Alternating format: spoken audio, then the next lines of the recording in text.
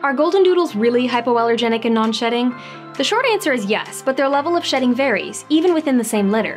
Most don't shed at all, and others only shed very little. No reputable breeder will guarantee that you won't have allergic reactions, but most people with dander allergies report that golden doodles are a great option for them.